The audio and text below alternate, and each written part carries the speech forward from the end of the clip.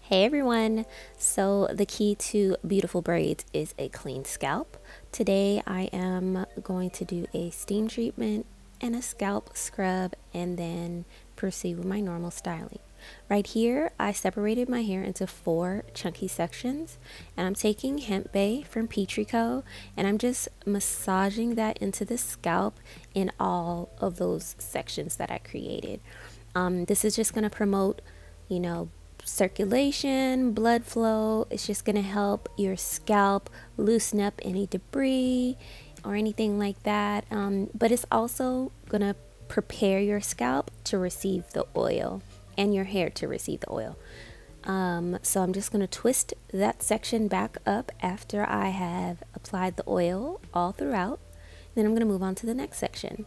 So I apply the oil specifically to the scalp Use the tips of my fingers to rub in circular motions.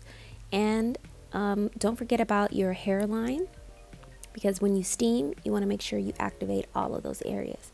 I'll be using the Q Redo handheld steamer um, I got this for Christmas on Black Friday a few Christmases ago. You can find that video on YouTube. And I just started the roots. I let that steam just hit the roots. And then I just take the steam down after I've focused most of the attention at the roots. Um, you can use this to slightly detangle, but sometimes I find that I didn't do a very good job of detangling. So I don't try to force it if it doesn't happen. Um, after I steam that section, I twist it up tightly and then I clip it away and I take this little conditioning cap and cover it. I learned this trick from um, Kimberly Sherrill. If you guys don't know her, follow her. So I'm just going to complete each section. As you can see, I divided those four sections into two and I just work in smaller sections just to make sure that steam really hits my scalp, that it really um, opens up my hair cuticle. I have low porosity hair so a steam treatment is perfect for me to actually get um, moisture, actually get oils and things like that into my hair. Hey guys, so I let my hair, steamed hair, sit under this cap for a little while. I'm about to rinse the oil out with some shampoo and conditioner and then I'm gonna dry my hair with a blow dryer and then I'll be back show you how I'm gonna braid my hair. Okay, so my hair is soaking wet. I'm about to scrub my scalp with Filthy. This is a scalp scrub. So you just take a little bit, little sections. Um, your hair should, my hair is still kind of sectioned off from when I did my steam treatment, but I'm just going to go in between where I parted and just scrub in small circles. Um, the middle tends to be like a little dry spot, so I'm just really trying to exfoliate that middle and get rid of some of the buildup and dandruff that might be there just to peel back a fresh new layer of scalp. so um, I'm just going to do that all over my head and y'all can see some of the pieces in there. So, and I just take little tiny sections. Don't try to take a big giant scoop because all of it's going to fall off. And then I also do it on the hairline right here because this is I use like um, edge control and um, other products all the time during the week. So just want to make sure you remove that from your hair. Um, a steam treatment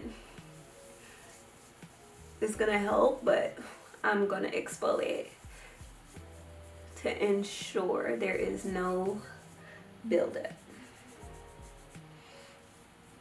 and I'm not buffing very hard. This is still your skin and this is salt. So you don't want to cut your skin. You just want to buff the skin.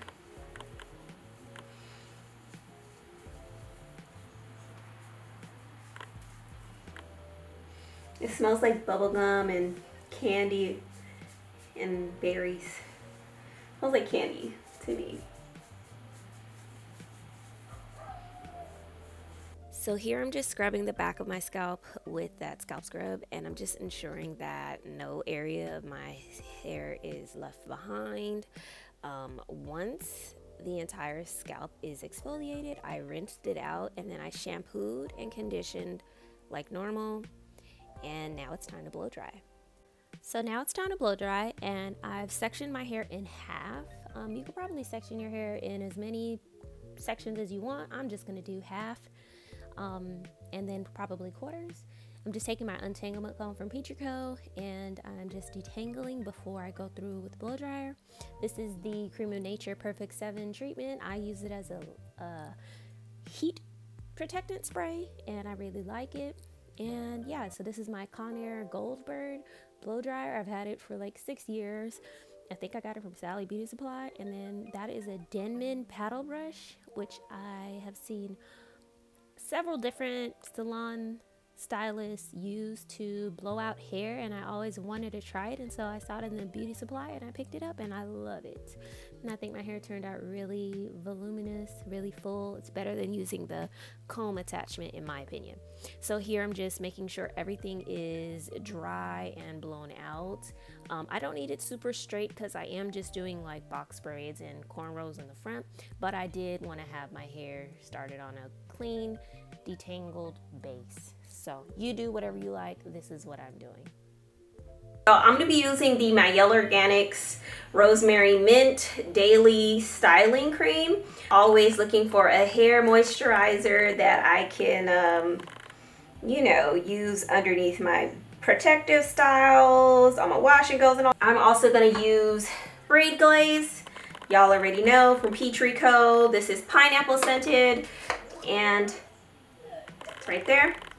So I'll be using braid glaze. I use it for everything. Using some hair clips to keep my parts nice and neat and organized. I think in the last video y'all saw me using these metal ones but these were really hurting my hair so I have them as a backup just in case I need to do any serious holding down of the hair but um, all the brands actually that I'm going to be using in today's video are black owned and operated.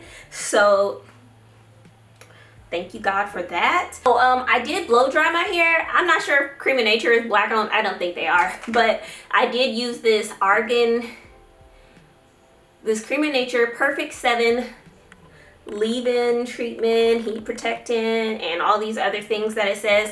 Um, I've been liking this so I might keep using this. So we went over the, my styler. This is to be the moisturizer. We went over the gel. That's to help everything be tamed. Um, I will be using hair from Latched and Hook. When I said everything is black owned, I meant it. so let me show you guys the hair. The color hair that I purchased was Storm.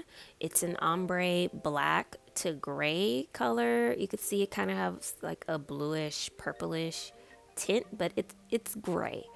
Um, but I really like the color. It matches well with my skin tone. I'm just cutting off the little rubber bands so I can start separating the hair. It's not pre-stretched, which is fine. Um, you just have to stretch it yourself, which is super easy. I have a video on that as well. Um, and here I'm just using my third rack and I would just put all of my divided pieces of hair onto the rack and you can see the color even more. Very pretty. And yeah, let's get right into it. Don't forget your handheld mirror. That is good. I'm gonna make a shirt. Start with a rough part. Anyways, this is my rough part from ear to ear. Okay? It's not clean, not neat, not nothing. But what you're to do is take your handheld mirror. This is your handheld mirror. The camera is your regular mirror in your bathroom. Hold it, angle it, and start parting. Do little by little. A lot of y'all try to do a whole part in one full swoop and it's like you trying to bite the whole cake. Okay, well you need to be taking baby bites. So little by little by little by little.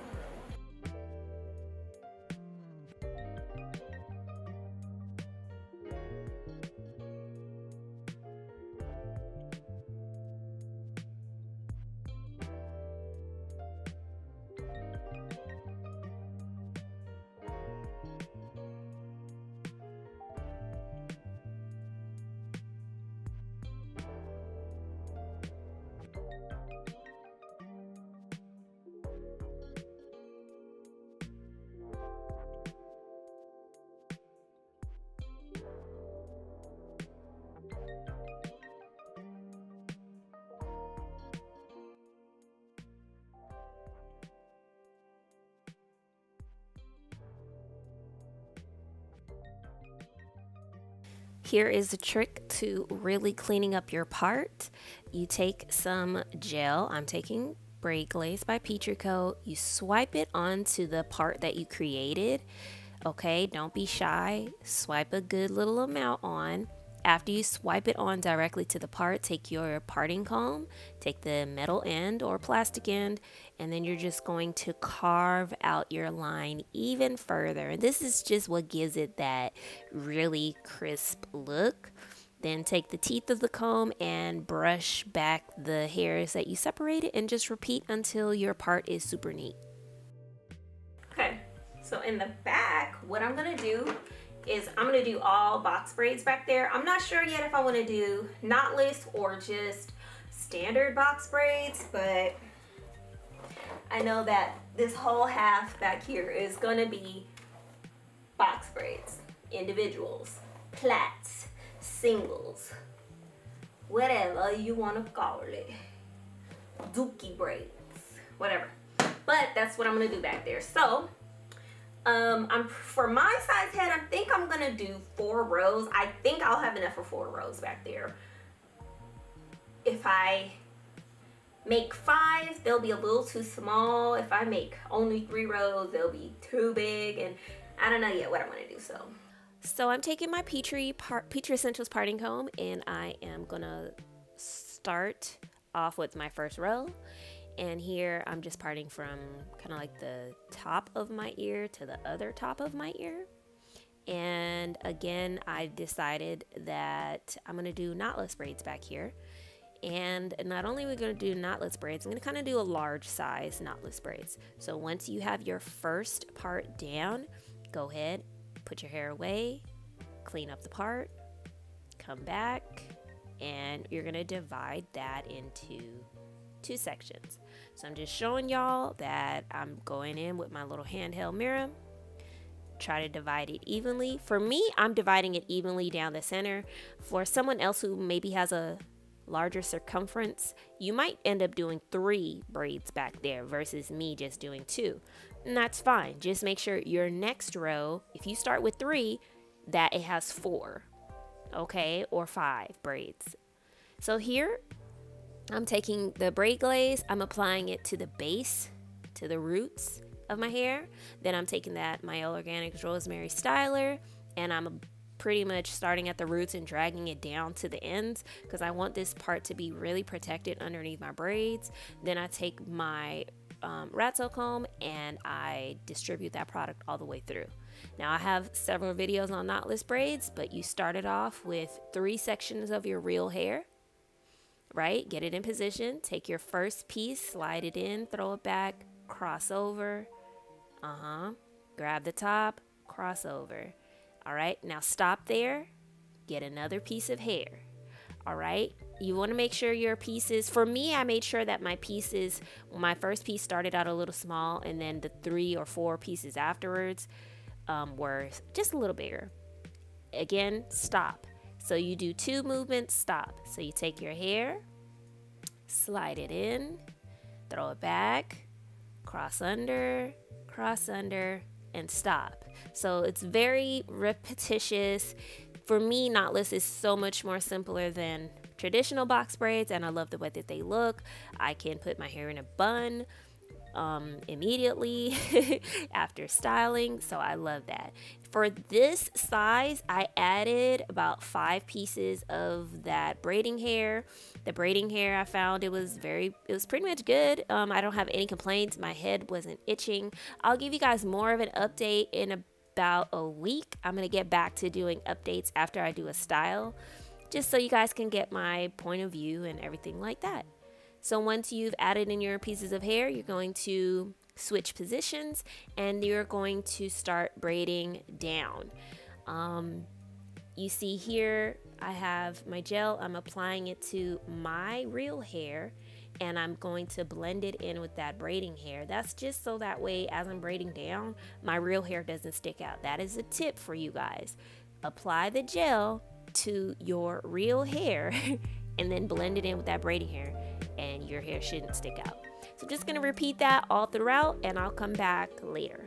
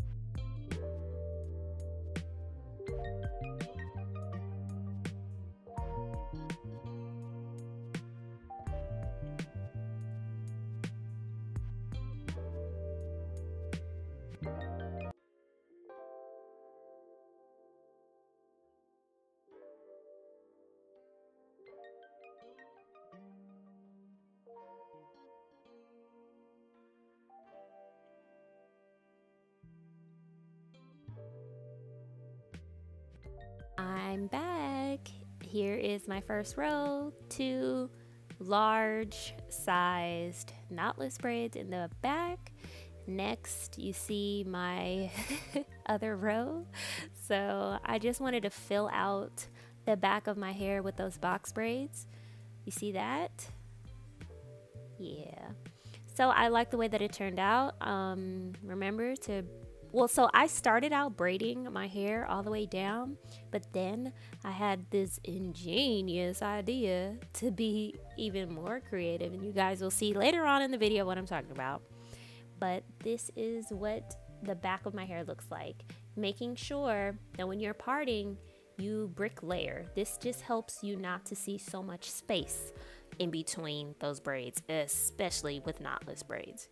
So here's the front of my hair I just parted it down the center to begin um, the parting process for a middle braid, um, which I always do mainly because of my bald spot. So when you are doing your cornrows in the front, if you are one of the girls who loves the baby hairs, make sure you leave out your baby hair prior to actually doing the cornrow now here is a little something that I've been practicing with. Um, I part off just the very front of my cornrow, right? It's divided in three sections and I'm just going to kind of braid that section it creates an anchor. For me, my hair slips so very easily whenever I add braiding hair in it. And this I found helps my braid stay at the front. If any of y'all have really slippery hair, you guys know what I'm talking about. Your braid, the knot of your braid looks like it started way in the back. So anyways, I'm still doing a normal feed in braid. Um, I'm just making sure I take really small sections, crossover, crossover, crossover, and then now you're gonna go ahead, once you feel like your foundation is secure enough, you'll take a piece of extension hair, you're gonna slide it in, and then you're gonna go ahead and just continue braiding. And you're just gonna continue that same movement. After each piece, you cross over, cross over, slide in, cross over, cross over, slide in. So for me, this is like super repetitive, and I think that this is one of the most challenging parts of braiding that I have ever tried to really master or really get down. Um, I'm getting better, but I could definitely, you know, practice a little bit more. So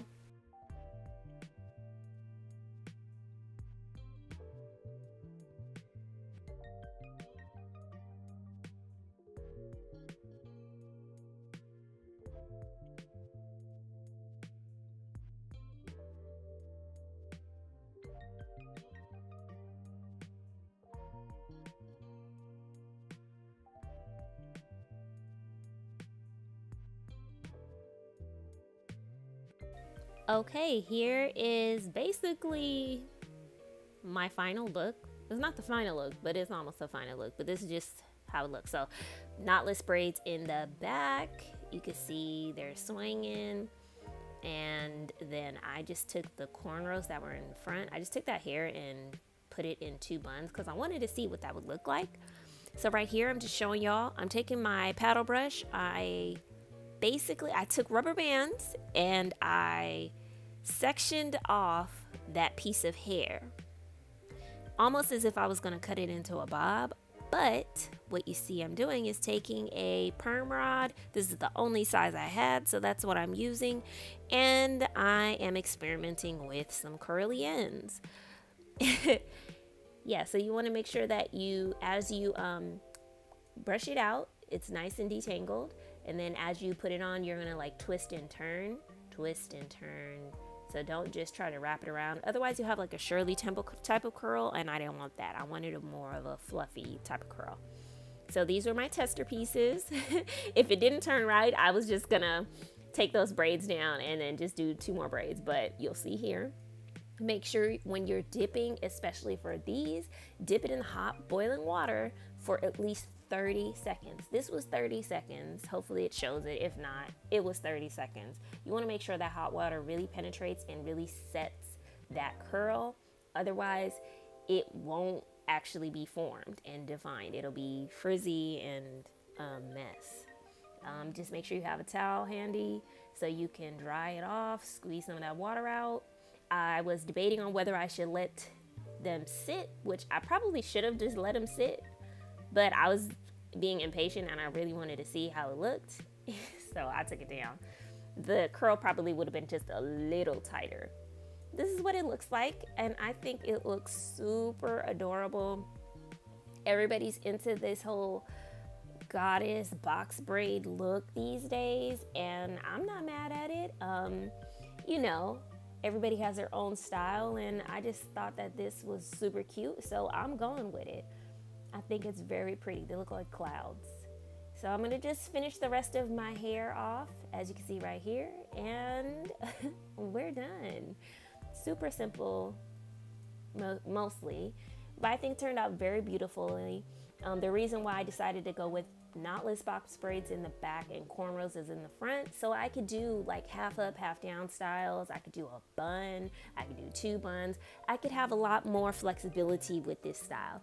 If you guys um, would be open to trying this color, comment down below. If not, you know, what do y'all think about the spirals? Would you try them? All right, thanks guys for watching this video. All products are going to be listed down below. Catch you later. Bye.